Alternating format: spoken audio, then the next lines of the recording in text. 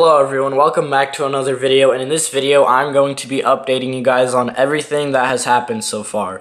The last time I posted was two months ago, and it's been a while and a lot of things have happened since then. If you didn't see the video yet, I turned this tank right here into a turtle tank. It used to be my 20 gallon planted betta tank, but that betta died, and I really wanted to get a baby turtle, so that's what I got. There is my baby turtle. It is a red ear slider. I don't know if it's a boy or girl. It's really cool. I really like it. And it's just a really cool turtle. It's really small. It's a baby. And it's really awesome. So that's the first thing that happened after I turned this tank into a turtle tank. But then I had that turtle for around like two weeks or so. And then I went to the pet store and I bought some red clawed crabs, as you can see right there. And I also bought some ghost shrimp, as you can see right there. The red clawed crabs, this one usually stays over here, and then the other one, it hides on the other side of the filter. Oh, as you guys can see, here's the crab right here, the red clawed crab. Here's the tank, and then you see this little crack right there? There's the other crab. It always hides back there. I have no idea why. I bought two crabs and three ghost shrimp. The ghost shrimp, they like to hide in the filter. They go in there, but they come back out. It doesn't kill them or anything. They just go in there I don't know why, probably because they go through the holes, the filter holes, as you can see there's an arrow pointing to it. But I didn't just buy the crabs and shrimp, I also bought fancy guppies. I put the guppies in the tank too, but the I bought three female guppies and one male. One of the females, it was pregnant and it was swimming slower and the turtle bit the tail off and I came home and the guppy was dead. So that was my first guppy death. Then another, uh, what is it called? Another female guppy. It was killed by the crab. The crab got it, and I could tell that it was like swimming slower, and it was like swimming on the bottom, so it was easier for the crab to get. So that was my second crab that died.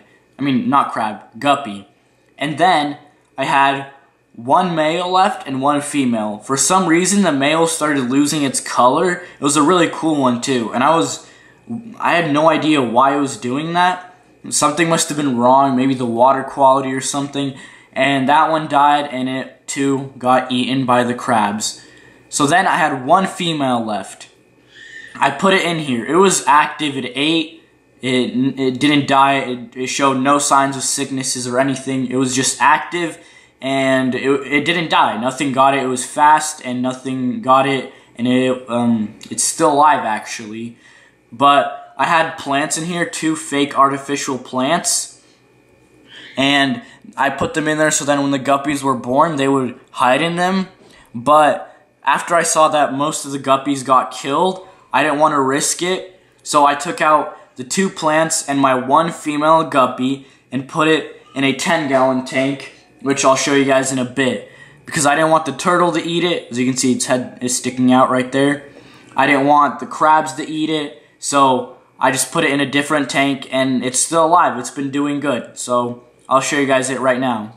So this is my one female guppy I have left. It, she is pregnant. I can see it. Her belly is really big.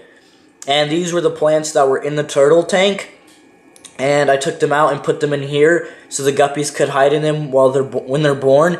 And I also have that thing right there, the net. I'm probably just gonna put the female in there so when she has the babies, they're all in there and just take her out so she doesn't eat any.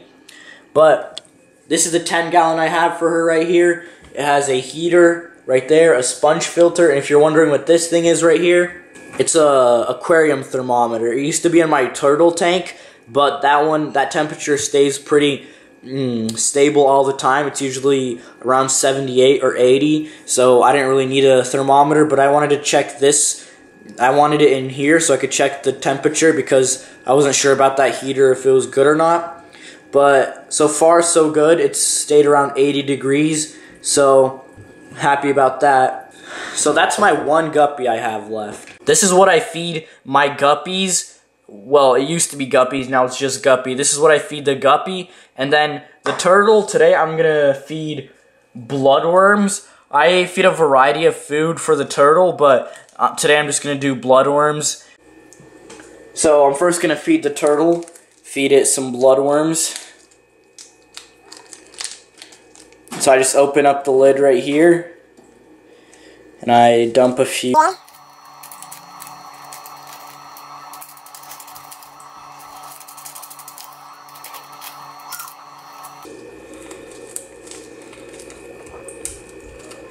So I just dumped in the bloodworms and the turtles right there. And just needs to see the bloodworms. Oh. Sees it. Now it's munching. Baby turtles really like bloodworms. I don't know why, but I'm guessing because they're filled with protein. The turtle really likes it, and then some sink down and the shrimp get it, and some of the crabs. So it's just a good food for this tank, and I feed it often. For the guppy, I feed it these Omega One freshwater flakes. They have really good ingredients, and it's fairly cheap, so I really like this food, and I'll probably be feeding it feeding all my tropical fish this food. So I just grab a tiny bit and put it in. And this one really likes food. I don't know why. It just destroys it. Something funny is that my turtle used to eat these freshwater flakes all the time because I had guppies in there. So I would drop some in there and it would always eat these flakes. So I sometimes drop a little bit in there for him too because it has really good ingredients and it munches on them. As some of you may know if you watched um, my previous turtle videos, I bought this food for my turtle. I've never actually seen him eat one, or it. I don't know if it's a boy or girl. Um, I've seen it nibble at it. I've never really seen it eat one. The guppy ate one when it was still in here. I dropped one in, and my guppies, they ate a whole thing. They just slurped it up. So the end of the video. I just wanted to update you guys on everything, and show you where everything is.